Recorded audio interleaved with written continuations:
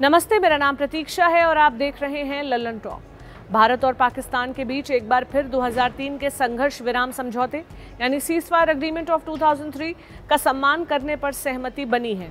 दोनों देशों के सैन्य अभियान महानिदेशकों, यानी डीजीएमओज ने संयुक्त बयान जारी कर इस समझौते का पालन करने की घोषणा की है। इसमें कहा गया है कि दोनों देशों के डीजीएमओ इस बात पर भी सहमत हुए हैं कि कोई मसला उठने पर भी संयम बरकरार रखा जाएगा। बयान के मुताबिक अधिकारियों के बीच हॉटलाइन संपर्क तथा स्थानीय कमांडरों की फ्लैग मीटिंग के ज़रिए मसलों का हल निकाला जाएगा।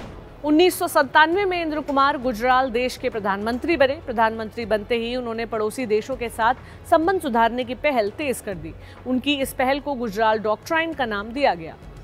अगले बरस इंद्र कुमार गुजराल की जगह अटल बिहारी वाजपेयी आ गए। उन्होंने भी पड़ोसी देशों, खासकर पाकिस्तान के साथ द्विपक्षीय संबंधों को सुधारने की गुजराल सरकार की पहल को जारी रखा। इसी के तहत वाजपेयी ने 1999 में लाहौर बस यात्रा की थी। तब एक साझा घोषणा पत्र जारी किया गया था। इसमें तमाम विवादास्पद मुद्दों को ठंडे बस्ते में डालकर आपसी सहयोग बढ़ाने पर बल देने की बात कही गई थी। लेकिन तीन महीने बाद ही पाकिस्तान की सेना ने कारगिल में घुसपैठ कर दी और शांति प्रक्रिया पटरी से उतर गई। अक्टूबर 1999 आते आते पाकिस्तान में लोकतंत्र का गला घोंटकर जनरल परवेज मुशर्रफ ने सैनिक सरकार बना ली। इसके बाद शांति प्रक्रिया बहाल हो पाना लगभग असंभव हो गया।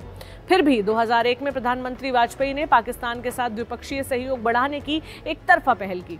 जनरल मुशर्रफ को शांति वार्ता के लिए आगरा बुलाया गया, लेकिन वो प्रक्रिया भी पटरी से उतर गई। फिर उसी साल दिसंबर में भारतीय संसद पर हमला हो गया। इसके बाद बातचीत की रही सही संभावना भी समाप्त हो गई। इसके बाद 2002 में दिखावे के लिए ही सही मुशर्रफ ने पाकिस्तान में चुनाव करवा दिए। उन्होंने मीर जफरुल्लाह खान जमाली के नेतृत्व में सैनिक शासन के हस्तक्षेप वाली एक डमी सरकार बनवा दी।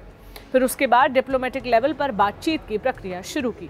नवंबर 2003 में रमज़ान का पवित्र महीना चल रहा था और उसी दरमियान 22 नवंबर को पाकिस्तान के प्रधानमंत्री मीर जफरुल्लाह खान जमाली ने रमज़ान के पवित्र महीने की दुहाई देते हुए एक तरफा सीज फायर का ऐलान कर दिया था।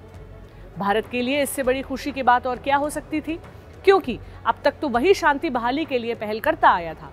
लिहाजा भारत ने जमाली की एक तरफा घोषणा का स्वागत किया। इसके बाद दोनों देशों के सैन्य एवं विदेश मंत्रालय के अधिकारियों के बीच बातचीत शुरू हुई और इस पर सहमति बन गई कि कोई भी एक दूसरे पर गोली नहीं चलाएगा एवं सीमा या लाइन ऑफ़ कंट्रोल पर किसी भी परिस्थिति में बातचीत के ज़रिए मसला हल करने की कोशिश की जाएगी। 24 और 25 नवंबर 2003 की दरमियानी रात भारतीय विदेश मंत्रालय के प्रवक्ता नवतेज सरना ने इस संघर्ष विराम समझौते की घोषणा की और अगले दिन पाकिस्तानी सेना प्रवक्ता मेजर जनरल शौकत सुल्तान ने इस समझौते की पुष्टि की थी। इसके बाद तीन साल तक तो सब कुछ ठीक ठाक चला, लेकिन 2006 से पाकिस्तानी सैनिकों ने कश्मीर में नियंत्रण रेखा पर फिर गोलीबारी शुरू कर दी। सीज फायर का उल्लंघन पाकिस्तान की तरफ़ से ही हुआ था। 2015 में भारतीय सेना की तरफ़ से फिर कोशिश हुई कि 2003 के समझौते का पालन किया जाए। इसके लिए दोनों देशों के सैन्य अधिकारियों की बैठकें भी हुई लेकिन कोई फ़ायदा नहीं हुआ।